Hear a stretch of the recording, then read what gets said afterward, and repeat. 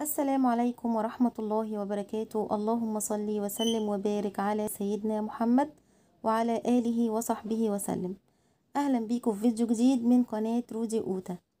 زي ما تعودنا بنبدأ كده يومنا بسورة البقرة. والنهاردة عايزة كده أروح السوق أجيب شوية حاجات. يعني البيت كده محتاج شوية حاجات. آه، هروح و- ونرجع بقى نشوف أنا جبت إيه مع بعض. آه، أهو جيت كده الحمد لله خلاص من السوق. أول حاجة أنا جبت طبعا طماطم دي الأساس مش بنستغنى عنها في البيت. آه، الطماطم النهارده اللي هي الجامدة دي بأربعة جنيه. فأنا جبت كده إيه اتنين كيلو ونص طماطم. على فكرة ما كانتش جامدة قوي برضو النهارده هي حمرا كده بس إيه مش جامدة قوي فمرضتش أكتر منها يعني أكتر من كده. آه، جبت كمان آه، كوسة. آه، كوسة النهارده بستة جنيه. عشان كنت عايزة أعمل كوسة بالبشاميل فقلت إيه أجيبها كبيرة شوية مرضتش أجيبها صغيرة قوي عشان هعملها بالبشاميل. يعني جبت تقريبا اتنين كيلو أو تقريبا آه اتنين كيلو كوسة كده. بصوا لسه كانت بنورها كمان. أنا بشيل منها النوار بتاعها وأنا بحطها. بس أنا قلت أفضيها مش عايزة أسيبها يعني في الكيس. بحب أفضي الخضار كده وأحطه في التلاجة عشان الكياس بتبوظه بصراحة. آه، جبت كمان شوية حاجات كمان. جبت برتقان وجبت بطاطس وجبت كمان جزر. البرتقان البرتقان الأكتر حاجة موجودة في السوق دلوقتي هي البرتقان البلدي. ال- البرتقان بصرة مش حلو دلوقتي طري كده مش حلو. أحسن حاجة البرتقان البلدي البرتقان البلدي بأربعة جنيه. بس جميل بقى عصير أو نعمل بيه كيك. هنعمل بيه كيك قريب إن شاء الله كيك بالبرتقان. وجبت كمان جزر. آه، الجزر اللي عندي كنت جمعته كله لميته وعملته وقطعته عشان أعمله مخلل. فقلت بقى أجيب جديد لو عايزين للسلطة أو كده. فجبت جزر. الجزر النهاردة كان باتنين جنيه ونص. جبت اتنين كيلو كده اتنين كيلو جزر والجزر القديم كله جمعته وعملته مخلل. حتى أنا قطعته من امبارح وهعمله دلوقتي معاكم يعني كنت رش عليه ملح من امبارح. وجبت كمان آه، فلفل آه، فلفل اللي هو بتاع الحشو ده آه، طازة بقى كده وجميل. خلاص ال- البشاير بتاعت ال- الخضار الصيفي بدأت تطلع الفلفل والورق العنب والكوسة والحاجات الحلوة بتاعت الصيف دي. فالفلفل ده النهارده كان الربع باتنين جنيه ونص.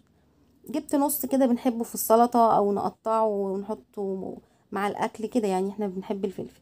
جبت ملح عشان مكانش عندي ملح جبت ملح جبت علبتين ملح نور الاتنين مع بعض بعشرة جنيه عرض. آه، وجبت لبن كده في البيت برضو البشاميل أو أي حاجة. آه، وبطاطس. البطاطس النهاردة التلاتة كيلو بعشرة. جبت خضرة جبت كده باتنين جنيه خضرة. برضو ب- بلفها كده احطها كده في في فوطة ولا كده واحطها في التلاجة برضو بتنفع. آه، جبت مكرونة. يعني كان عندي مكرونة وجبت الأصناف اللي خلصت. آه، عندي باقي الأصناف موجودة كان بس ناقص آه، سباكيتي و... ولسان عصفور وشعرية فجبتهم إيه عشان تبقى يعني كل حاجة تبقى موجودة.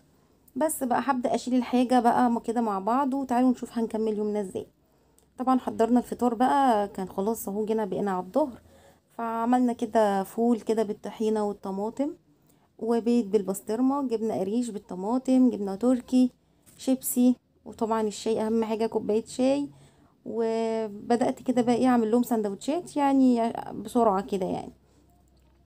آه كل واحد كده سندوتشين لحد ما ربنا يسهل إيه ونعمل الغدا بسرعة يعني.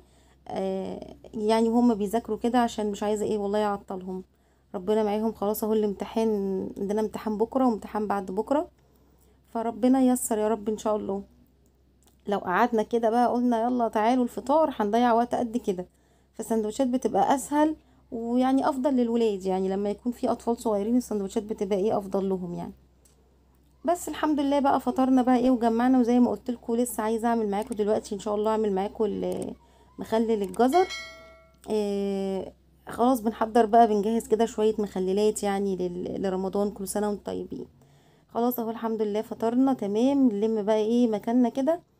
محمد أهو بيمسح الترابيزة. آه يعني بيظبط كده مك... بيلم كده مكان فطرنا. وهتبدأ دلوقتي بقى إيه رودينا تجمع لنا برضو المواعين كده تغسلهم عشان إيه بيفضوا لي بقى المطبخ عشان أنا أدخل دوري بقى. الدور هيبقى عليا أنا دلوقتي. فهو بنغسل بقى كده ال- المواعين أول بأول. دول طول ما المطبخ بيبقى رايق بيبقى الواحد ليه نفسي يشتغل فيه بصراحة. لكن تدخلي بقى عشان تعملي حاجة أكل ولا تعملي أي حاجة تلاقي المطبخ مليان مواعين ومكركب تحسي إن انتي صراحة مش قادرة يعني. لكن كده أفضل يعني نفطر نغسل ورانا على طول نتغدى نغسل مواعين بعدين على طول. آه الكركبة دي بتضايق بصراحة بتضايق بتخلي الواحد ملوش نفس يعمل حاجة. فكده أفضل إن إحنا إيه بعد ما نخلص نغسل ورانا على طول أول بأول. والمشاركة يا جماعة زي ما قلت لكم كلنا نعود ولادنا يساعدونا. خلاص يعني إحنا خلاص كلنا فطرنا الحمد لله. خلاص حد هيلم الترابيزة يمسحها حد هيشيلها من مكانها حد تاني هيدخل الأطباق المطبخ ونغسلها. كده يا جماعة يعني عشان من الأفضل إن إحنا دايما نعود ولادنا إن هم يساعدونا. ما يبقاش هم قاعدين أو بيلعبوا ماسكين الموبايل وإحنا قاعدين من ده لده.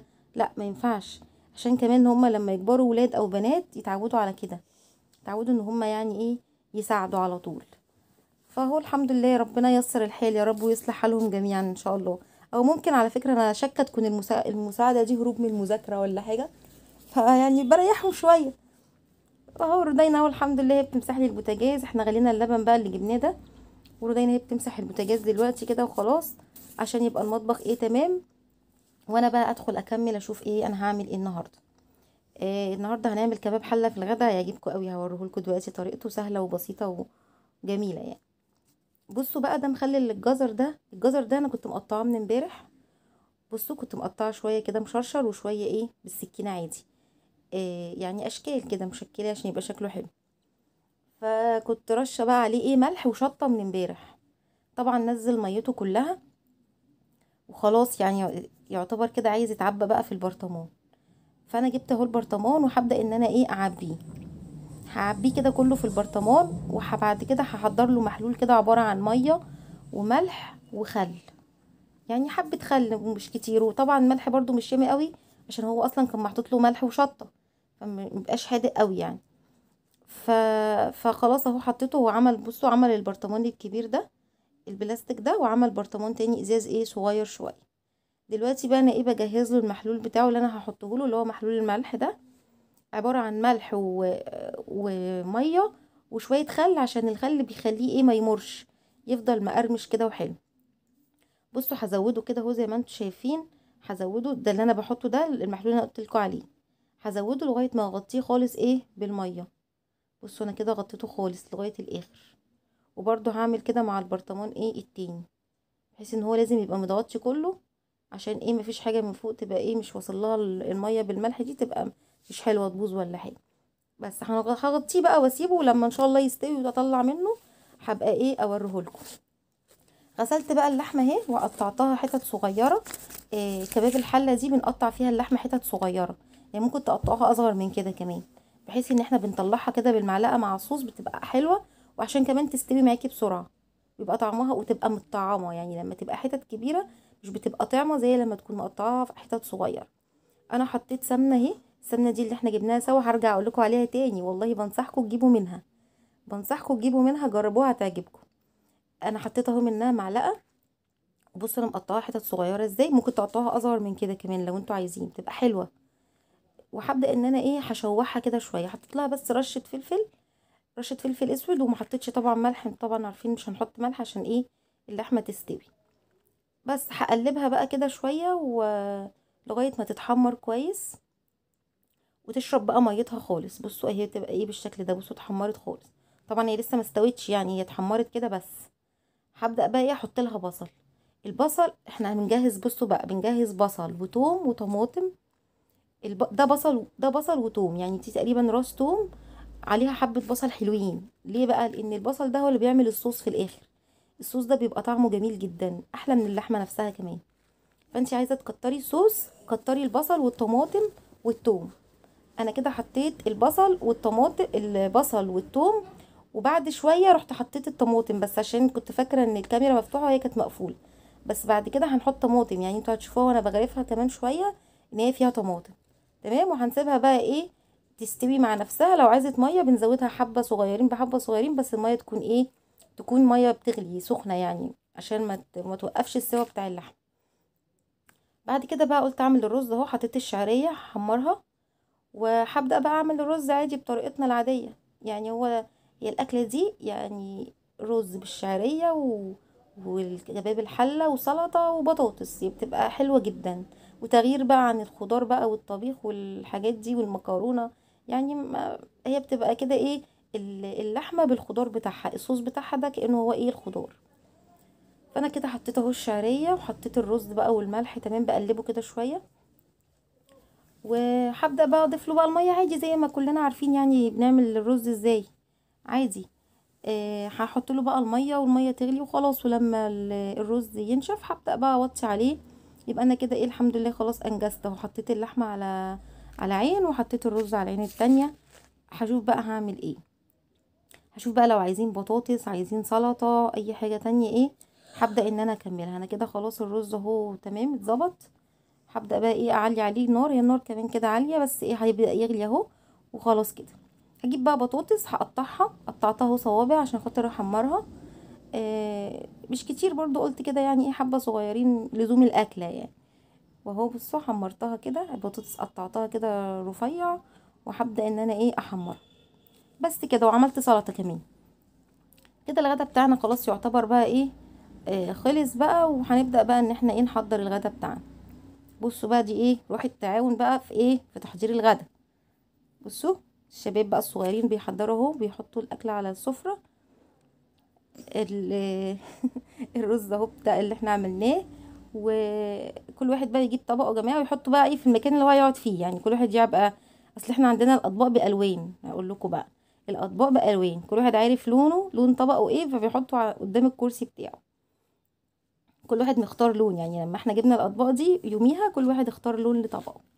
فعشان كده هما تلاقيهم عمالين يحركوا إيه الأطباق من يمين وشمال بيظبطوها. كل واحد هيقعد فين وطبقه إيه هيبقى أنهي لون. بصوا بصوا التغيير ده ده عشان كل واحد عارف هو طبقه لونه إيه يعني. بس كده حطينا بقى اهو الرز كده حضرناه وحطينا ال- كباب الحلة اهو هتشوفوه دلوقتي بقى ان هو فيه طماطم فيه صوص في الصوص بتاعه فيه طماطم اهو. بصوا بصوا لونه عامل إزاي لأن حطيت له طماطم بعد الايه بعد البصل والثوم.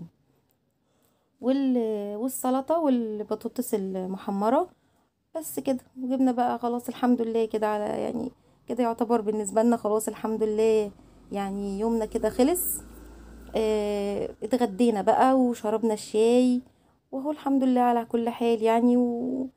والله يعني بفرح لما بعمل معاكم أي روتين بحس إن إحنا إيه يعني خلاص بقى عيلة بقى مع بعض كده يعني بتوحشوني إن أنا إيه عايزة أحكي لكم أنا عملت إيه في اليوم يعني. فهو كده خلاص حضرنا بقى الأكل واتغدينا ويومنا على كده خلص الحمد لله. آه، أشوفكم بقى إن شاء الله في روتينات تانية كتير إن شاء الله بإذن الله. ومستنية تعليقاتكم مستنية اشتراككم في القناة وتدعمونا باللايك عشان الفيديو يروح لناس كتير. وأشوفكم على خير إن شاء الله في فيديوهات تانية.